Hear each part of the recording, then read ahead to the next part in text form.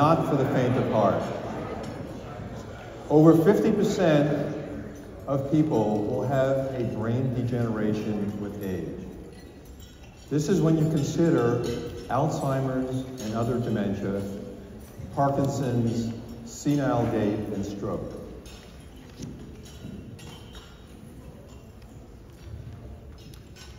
The aging brain can be modeled by looking at the lessons from Alzheimer's disease and Parkinson's disease because they all have similar characteristics. There's a leaky gut, there's dysbiosis in the gut with decreased species that produce some chemicals that we need, like butyrate. And there's also a leaky blood-brain barrier. And the proteinopathy that we think about with, let's say, Alzheimer's disease or Parkinson's disease starts in the gut.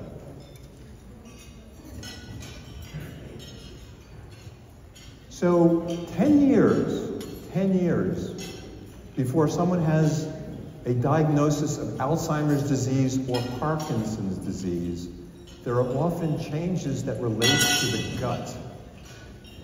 So abnormal weight loss and constipation happens many years before they become demented.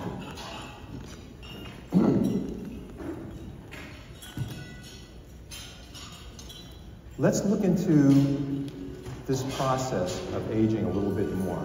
There is a central clock that determines how old you are and when you die. That central clock is in relation to the hypothalamus that you see here and the pineal gland. The hypothalamus is lined with stem cells that produce exosomes. And these exosomes go into the hypothalamus to maintain a youthful phenotype. And they also get produced and released into the spinal fluid and it bathes the entire brain in keeping them intact.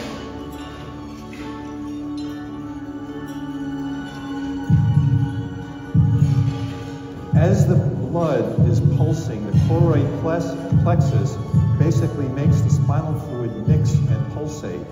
So materials are released between the pineal gland and the hypothalamus and back and forth and also exosomes are delivered into the brainstem. This is absolutely critical for understanding the, the gut-brain connection.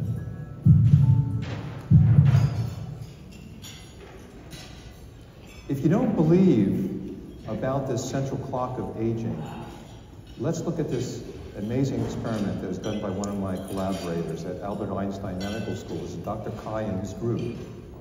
He did this remarkable experiment about aging. If you take a pipette and you put it adjacent to this biological clock mechanism in the hypothalamus, and you create an immunological lesion, so you kill just the stem cells that line the third ventricle, this is what happens to a rodent. It becomes old almost instantaneously. Their hair falls out, they become sexually inactive, their muscles are weak, their bones are fragile, and cognitively, they become impaired almost overnight. Now that's sort of an interesting experiment, but this I find even more relevant for today's discussion. If you take that same model and you give exosomes from a young mouse, you make that mouse who is afflicted with potential aging, you make them young again. Their hair grows in, their muscles get strong again, and they become cognitively intact. So the aging is all dependent on this central clock that can be manipulated. And if this can be manipulated in mice, maybe it can be manipulated in humans. So it's the relationship between the pineal gland and the hypothalamus that's relevant. If you, if you take out the pineal gland, these little black spots, which are the stem cells in the hypothalamus coming off the third ventricle, if you take away the pineal gland, those cells die. That's exactly what happens to all of us. As we age, the pineal gland is making less and less of a signal that's required for the hypothalamus to remain young. And that signal is melatonin and perhaps other things like epithalamine.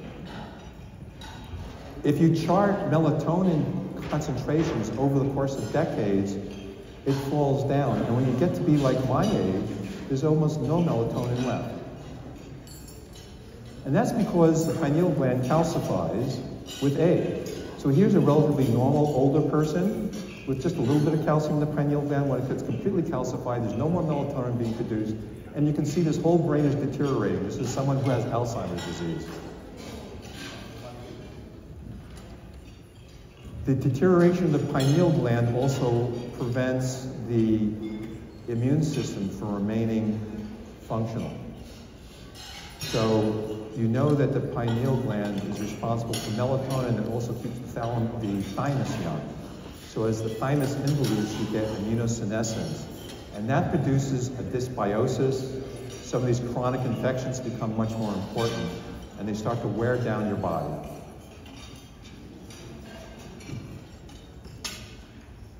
Now, why is it happening according to this model? Well, I just, I was just showing you that these exosomes are needed to keep the brain integrity intact.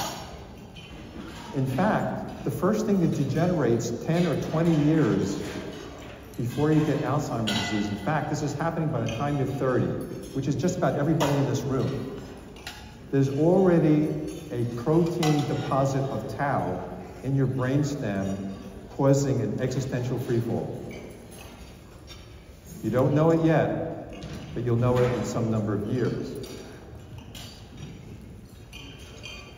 And as the brainstem is affected, so is the vagus nerve. And the vagus nerve controls many things in your body. As you know, it connects the entire gut and into the gut lining. The vagus nerve is very important for gut integrity. The vagus nerve actually prevents the monocytes embedded in the gut wall from producing inflammatory substances. So there is a cholinergic anti-inflammatory pathway that is mediated by the vagal nerve. So as the vagal nerve degenerates, you start getting a breakdown in the gut and a breakdown in the uh, immunological components in the gut. Plus, the loss of motility is another problem that can change the biome. So there are dendritic cells that actually taste what's in our gut. I don't know if this is particularly appetizing when we're having lunch, but there are dendritic cells that send little tongues into your gut to taste your poop and to see what's actually in there and to react to it. It turns out that with mild cognitive impairment, so these are the people that come to you and you say, hey doc, my memory's not as good as it used to be. So what is growing in their gut? They have too much E. coli. So if you look at E. coli, mild cognitive impairment and Alzheimer's disease, not much different. In fact, when people come to you with mild cognitive impairment, they're already on an Alzheimer's pathway because those pathobiomes that are in your gut are already there doing their damage. And the same thing with Parkinson's disease.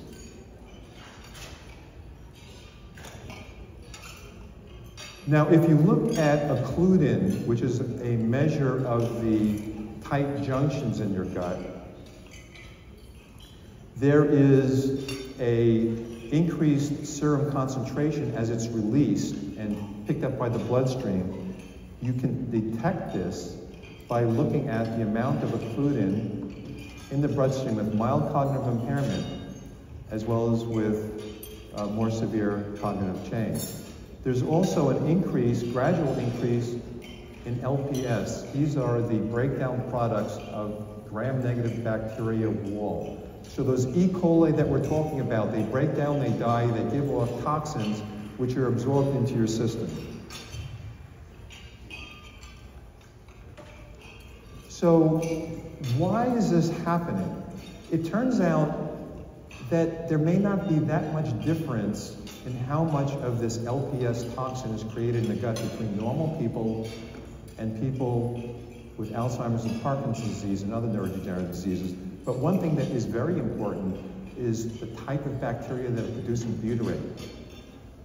So butyrate is a chemical that seals up the leaky gut that's created by the so-called good bacteria.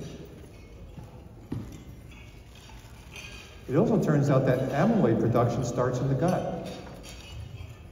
And it seems to be the beginning of Alzheimer's disease. So think of Alzheimer's disease as a gut to brain inflammatory process. Now you might ask yourself, how about some of these conditions that we know have leaky guts, like, like ulcerative colitis and Crohn's disease? Well, if you look at them, they have a much earlier onset of dementia than the average person. So a leaky gut by itself is a risk factor.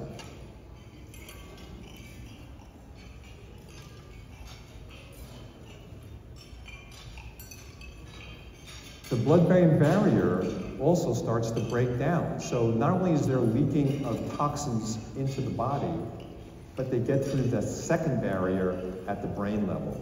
The blood-brain barrier is broken down by some of these inflammatory substances as well.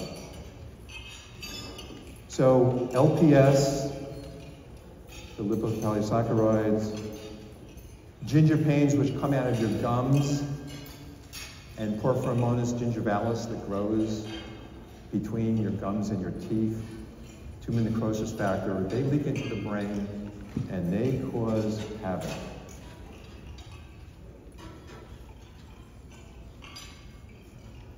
You can test for the breakdown of the blood-brain barrier with serological tests as well now.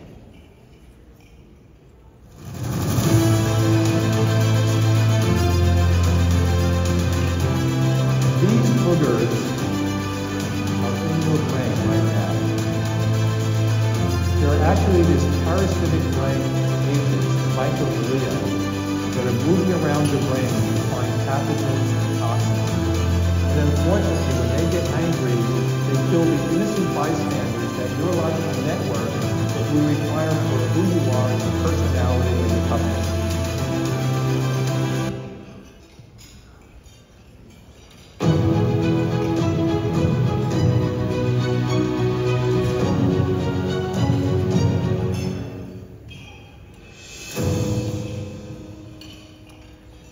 Can we measure how much leakiness there is in your gut and in your brain? Because it's this infusion, this permeation of toxin that gets from your blood to your brainstem to your brain to those microglia, those angry boogers that you just saw that eat up your brain, that are responsible for neurodegeneration. So how do we test for this? And how do we stop it?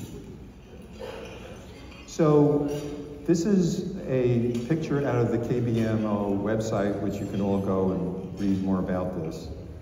Um, but there is zonulin, which is a signaling molecule to open up the blood-brain barrier.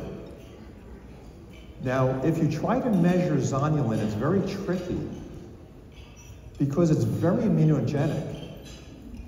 And if you take a normal person and you try to measure zonulin, it's bouncing all over the place. So when you go from one trial to the next trial to the next trial, you're getting a variability in signal when you don't know what to make of it. So KBMO came up with a brilliant solution. Don't check the zonulin, check the zonulin antibody. So the idea here is, if you have zonulin bouncing up and down, you're eventually going to build antibodies, which are very stable. They're stable for a month at a time. So it's sort of like getting hemoglobin A1C to check for your blood sugar, right? You sort of get an integrated response. So you can do that by getting an antibody to zonulin. And that's what KBM, KBMO is doing. I highly suggest that everybody in this room reads this paper. This is not done by KBMO. This, this is the original research that was been, that's been published in, in the GI journal. It goes over how zonulin antibody performs compared to zonulin. The sensitivity, specificity, it's a brilliant article. Please read it, you'll understand it. And this is kind of a complicated slide from that paper, but I'm just going to show a few things. If you look at zonulin levels, control versus people with celiac disease, who you know have a leaky gut, there's, there's not really much separation between those groups. So measuring zonulin is not particularly sensitive. On the other hand, there is great separation between, sorry, I'll get the laser on here. I don't think you can see it. But if you look at the second column, you can look at the difference between uh, celiac disease and a control group. There's a huge separation when you look at zonulin antibody. So it's also, there's not much overlap either. So it's specific and it's sensitive. And it's stable, it's reliable from trial to trial. So what you really want to be measuring is zonulin antibody. Occludin is, is one of the proteins that makes up the tight junctions itself, so you can also measure how much the tight junctions have been opened up by looking at occludin. And here's what the test looks like. Clean the tip of your finger with the alcohol pad. We recommend the middle or pointer finger of your non-dominant hand. Save the alcohol pad for later. Open the lancet and place it on either side of your fingertip. Press the lancet firmly against the tip until it clicks. Now wipe away the first droplet with the alcohol pad to prevent it from clotting too quickly. Gently massage the finger to produce a large droplet of blood. This part is the most important. Do not touch your finger to the paper. Instead, let the droplet become large enough to drop on its own. This will ensure it only takes one droplet per circle. Repeat this for all five circles, continuing to massage the finger to help produce the droplets. When all five circles are filled, provide pressure to the puncture site with a gauze or a paper towel, and then bandage the finger. Allow the card to dry for 20 minutes. All bleeding eventually stops. Close the blood spot collection card and place it in the biohazard bag. Put this and the patient requisition form in the provided mailer. It will either have a stamp or a provided shipping label. And finally, once the mail is received by our lab, it will take about two weeks to get your results, but the wait will be worth it.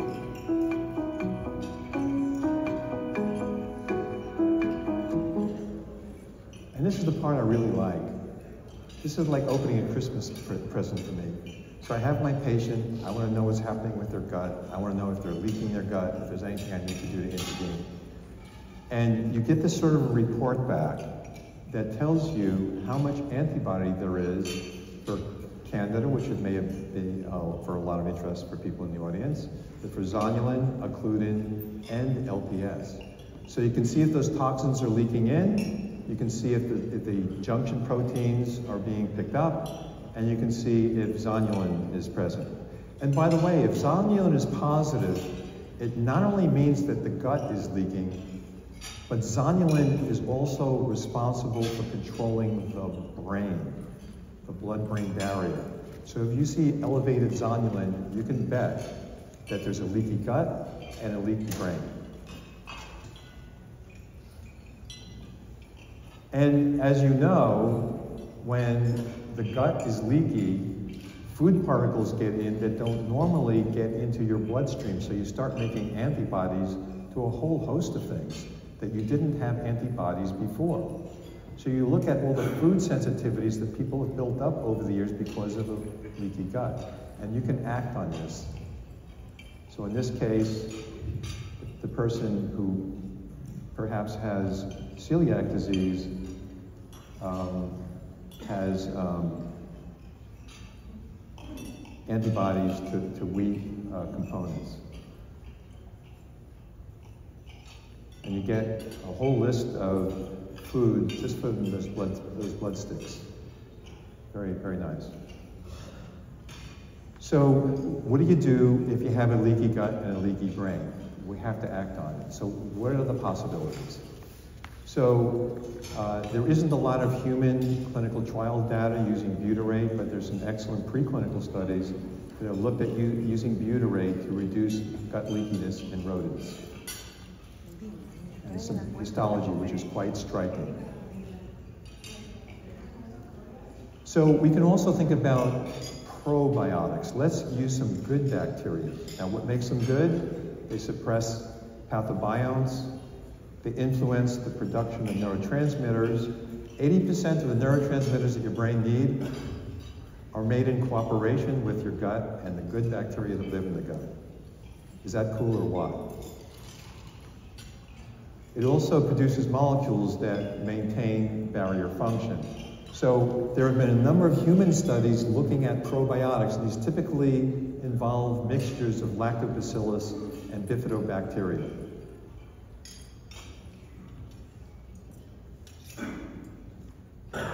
There are several uh, randomized studies looking at this in terms of uh, the effect on dementia as well. So we have something that actually has some research behind it.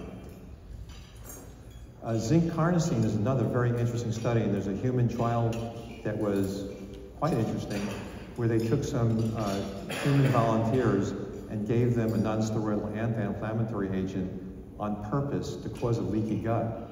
And they gave them zinc carnosine, and they were able to show that uh, in the active group, they could keep the leakiness of the gut down. This is using a lactulose to rhamnose, very conventional, old school way of checking for gut, gut leakiness, this LR ratio. But this is what it looks like with placebo. So you can change gut leakiness by carnosine, by butyrate, and by probiotics.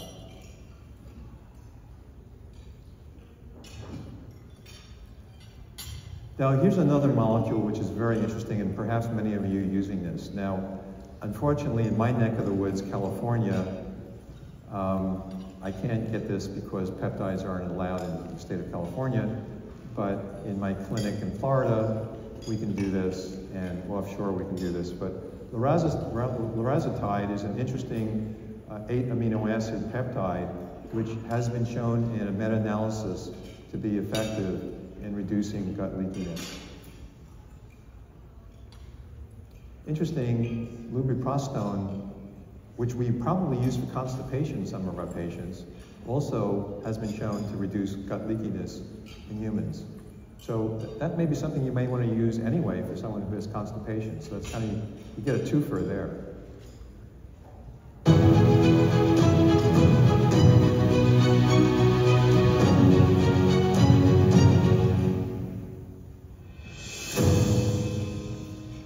So here's my summary of a basic approach to a leaky gut.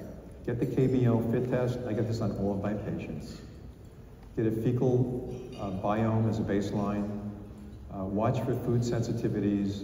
Avoid drugs that worsen leaks, for example, NSAIDs.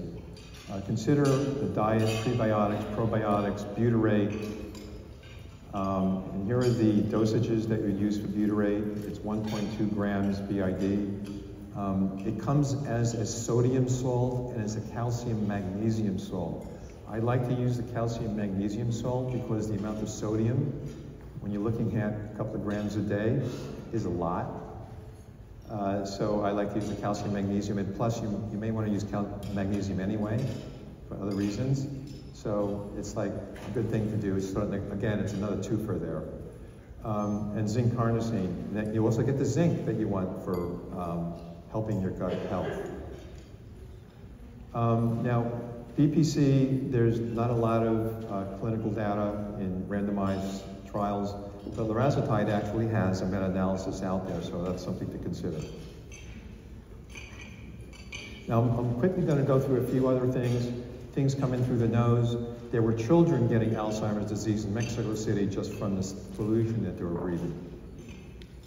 Seven-year-olds getting Alzheimer's disease in histology when they were when they were dead from having suicides caused by their rapid brain deterioration just from breathing. You have to look at some of the conventional viruses. So I test um, for the, the, herpes viruses that can come in through your nose and mouth, through the trigeminal system, and through your veins. We've got to look at the teeth. Gingivalis, um, Porphyromonas gingivalis is one of the major factors for Alzheimer's disease, and it, it grows on these bad gums. So when you see advanced periodontitis, you can bet that they have porphyromonas in there. You gotta get these people to get deep cleaning very frequently. Get in the habit of looking at people's dentition. It's one of the most important things you can do. And there's a difference. If you, if you, if you look at people with chronic periodontitis, there's a much higher incidence of Alzheimer's disease. It doubles the risk. It's huge.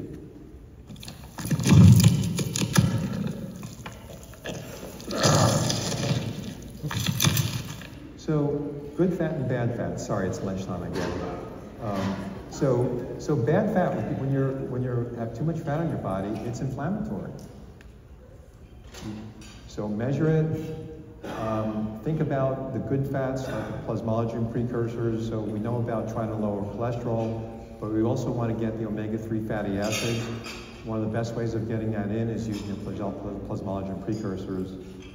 Um, just remember that the plasmalogens are absolutely required for good brain function. You stop making it when you get beyond 30, when you're in that existential free fall. Beyond age 30, you don't make enough of these components that your brain needs. Supplement it. Here are some of the studies that we did in combination with Duke and the University of Pennsylvania. So this is the last thing I wanted to show you. You think you're in control. I don't think so. It's your gut's in control. These bacteria exude all kinds of substances that work on your hypothalamus. Remember? That clock that determines how old you are and when you're going to die. The bacteria make things that act on your hypothalamus. So they get you to become carbohydrate craving because certain bacteria want carbohydrates. So they send out molecules that control you. You're a zombie. It's the gut that's controlling you, not the other way around. Just uh, before we end, just a few pet peeves that I have. So, Mediterranean diet, meat versus fish, this is an argument. I think meat is fine if you don't have soy and corn finishing, and you don't have antibiotics, and you don't have hormones, right? So it should be pasture raised and pasture finished. This kills me. I go to the supermarket, I won't mention names of supermarkets, and the label says pasture raised, grass fed. But they don't tell you the last three months of their life, they were penned up, given antibiotics, hormones, and fattened up with corn and soy, right? So you have to know your source. Milk and dairy. Dairy is a living material. If you use high heat pasteurization, which is the most way that we get milk, it kills it. Low heat pasteurization, the exosomes, the young exosomes, which have the same signaling characteristics that young exosomes have, you can get that from milk, but it has to be low heat pasteurization. I love this thing about organic food. One of my good friends who's a farmer said, organic farmers are the ones that spray at night.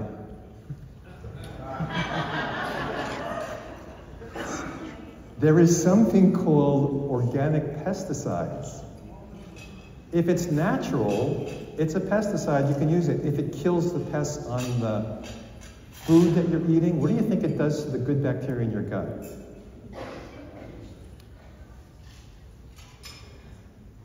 Well, it goes to the reason that not all foods and supplements contain what you think. Yet, unfortunately, unless you're growing it yourself, you don't know. Food preparation is, is, is absolutely critical, and this is probably the last thing I'm going to say. High heat cooking produces advanced glycation end products. They're absorbed and they turn all your soft tissues in your body to leather. So those blood vessels that you'd like to be supple, you turn them into leather. Barbecue, broiling, frying. The food, perfectly good food, is going to be destroyed if you do that. Soft boil, steam, poaching, slow cooker. That slow cooker you got as a wedding gift that's in your closet, take it out of the box and use it.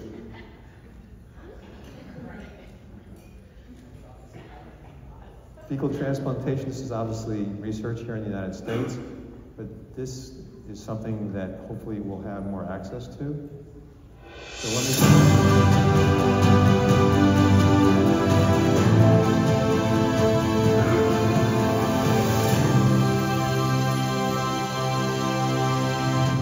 So a, thank, thank you.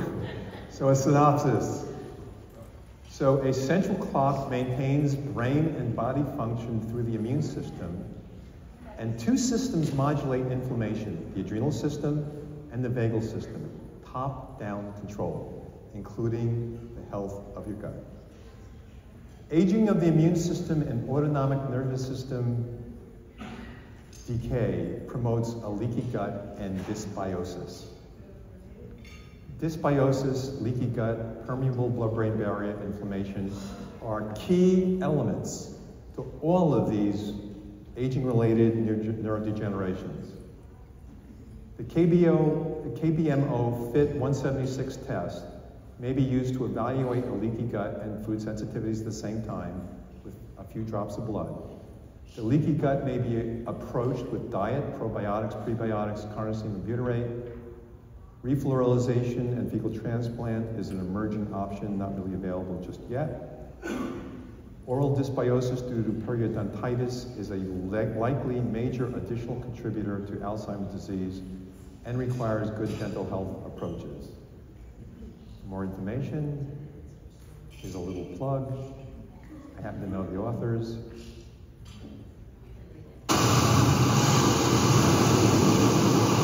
Forever and to the ending. Single-cell organisms conspire to deconstruct brain networks. But perhaps not today.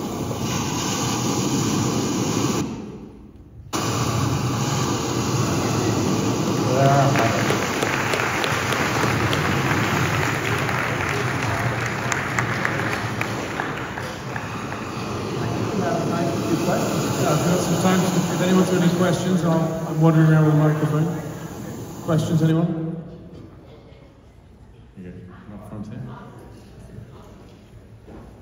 Hi, you were talking about celiac disease. What about Crohn's and ulcerative colitis, like with the sort of increasing autoimmune conditions in children and like earlier diagnosis of Crohn's disease? Does all that stuff help with that as well? Like you, you mentioned the celiacs, but does it work on the same premise? So you're talking about younger individuals? Sorry?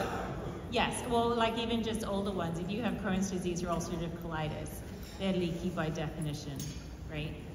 Well, I, I think the question is, we were talking about older individuals, would this apply to younger people during their development? Is that, is that what you're asking? Well, just the, the fact that the variety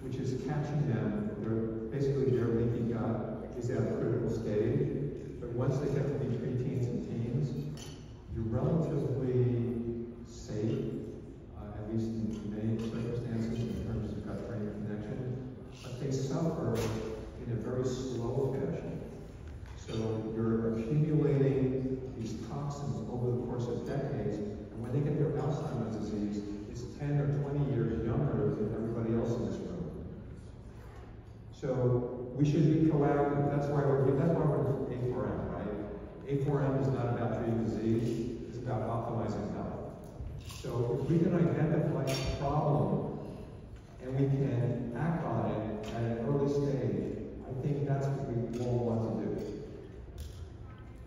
So it's easy. We can check for gut leakiness. It's a few bucks. We can find out what's going on, and we can intervene in ways that are relatively inexpensive and appear to be effective. Yes.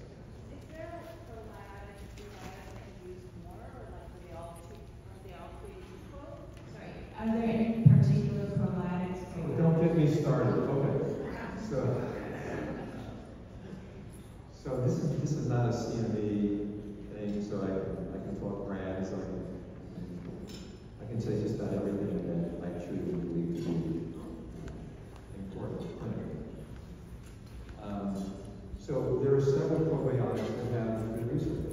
So VSL number three is one of them. VSL, like Victory Sam Liberty, um, number three, has research that shows that it can be effective. So that's a lactobacillus bacteria combo. Your background. Uh, that's, so that, that would be one that I can use a lot. I would like, I'm very much tied to the evidence. I would like to see a probiotic that actually has clinical evidence, because most of the probiotics that you buy in the store are dead. And by the way, these yogurts that you buy, one of my good friends, Sabine Hazan, you may know her, uh, she's a GI doctor, very interested in some of the things we're talking about today.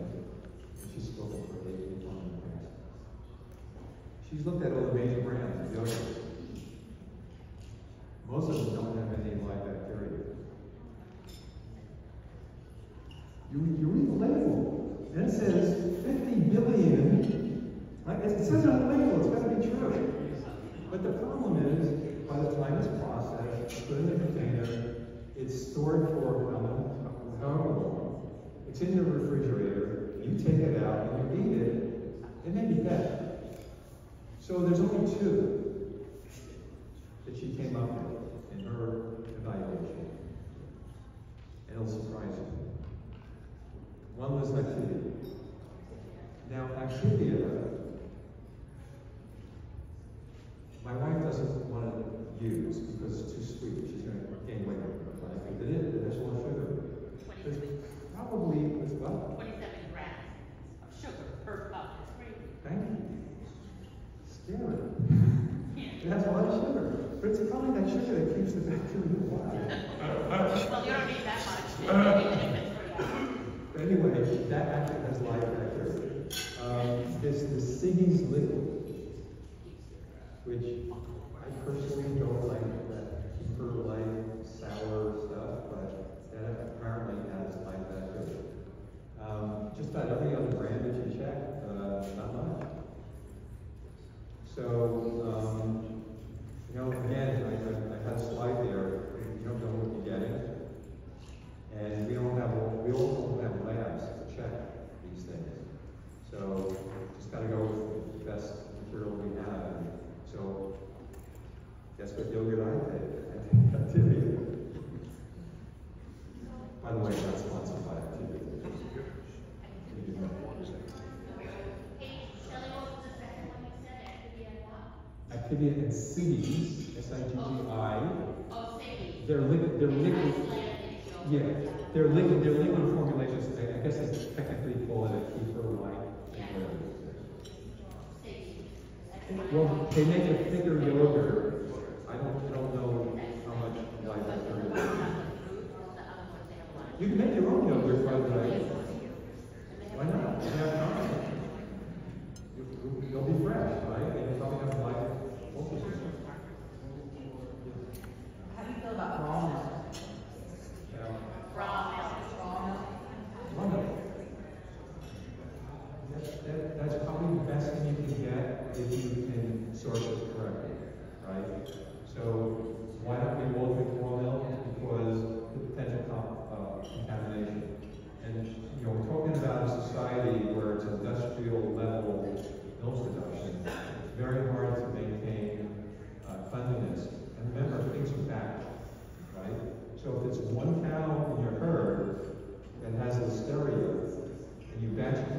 stores and it's incubating together, you're just contaminating the whole run, right? So if you have small batches, small farming, fa- small fa- farm, small family farms, that's a tongue twister for me.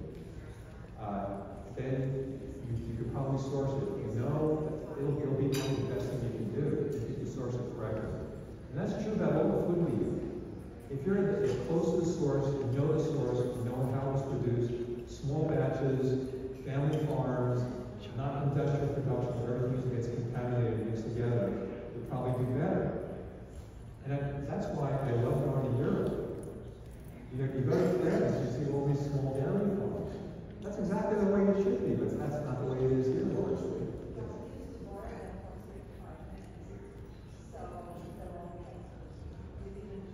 Well, if you boil, so, uh, so if you boil, it will kill. If you boil, it will kill the exosomes. It's the exosomes that you want. If you get, so low heat pasteurization, I believe, is in the low hundreds.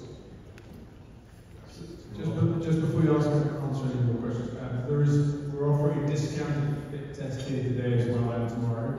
So it's normally three ninety-five, discounted down to two hundred dollars. So again, what we found is it's a great way that you can do it now versus if we give, give you a kit, it will uh, sit on a dusty shelf in your offices. I'm sure you're all that. So there's an opportunity to get your test done here. We have a phlebotomist here um, to kind of do the finger sticks and uh, get that test done. So we're you are considering bringing it into practice, to at least get the test done yourself as well.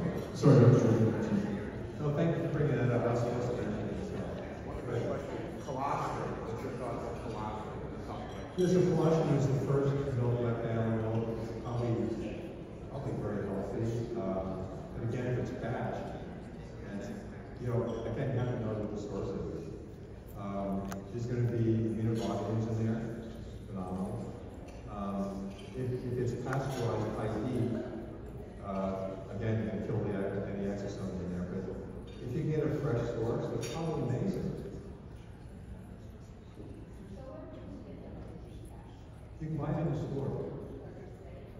Yeah, you can get, you can get low heat pasteurization. Um, so that's what I buy. It's non-homogenized, low heat. Minimally pasteurized, yeah, that's what. It's the minimally, label- it's, a- it's, I, I think it's, is it hundred and forty degrees? Yeah, or less, yeah, so that. Hundred and forty degrees or less.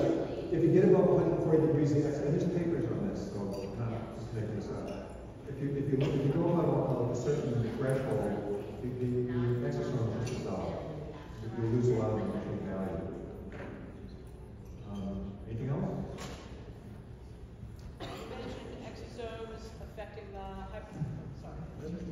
You mentioned about exosomes affecting the hypothalamus. Do you advocate the use of IV exosomes?